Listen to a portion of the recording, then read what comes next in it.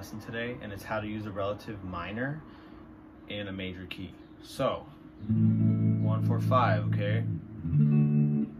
That's a one, four, five in the key of A major. So that's A to D major, to E major, back to D, and then A. So most guitar players think the minor pentatonic, which is a great scale and it works, but that scale fits best over a one four five in minor. Okay, that's where it really shines when you're playing A minor to D minor, back to E minor. I mean, now back to D. Now let's hear it in major.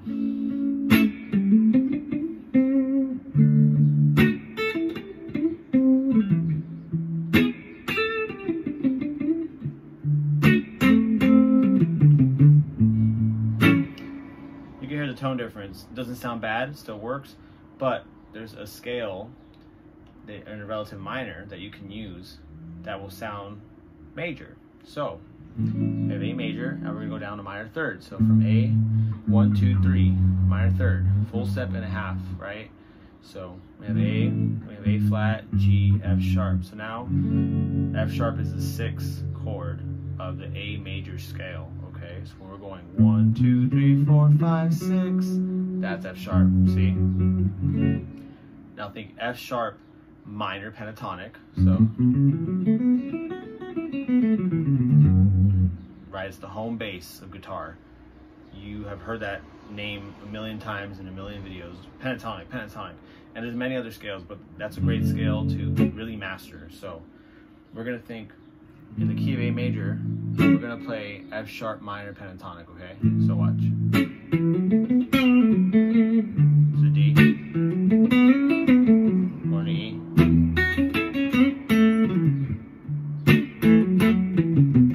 And there's A. Okay, I think we're out of tune. It happens with these Les Pauls, man. So you can use the A minor pentatonic and it still works, and then you can also use that F sharp minor pentatonic, and that's the major sound for the key of A. So if you do both, which I hope I don't mess up.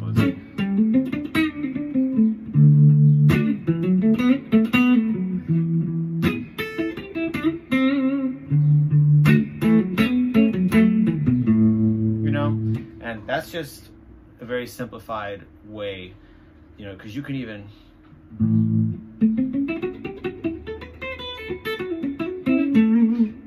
that is in this pentatonic too those notes right from the f sharp. But we'll work on that in another video. I don't want to keep this too long. Just focus on doing the pentatonics and just kind of connecting them okay? In that key of a that 145 in a major okay? I also like to end on the a note or emphasize the a note right? You know just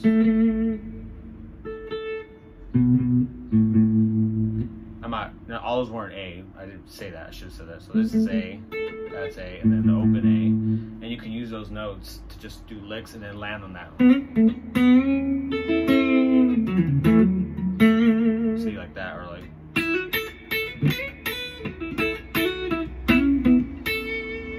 When you come back to that one, okay? Kind of, kind of get it. I hope you can kind of understand where I'm coming from. Um, but that's like a simplified version of how you can do that. And then you find those same notes from F sharp, you know, minor pentatonic in the A pentatonic, and then you know that's how you get the.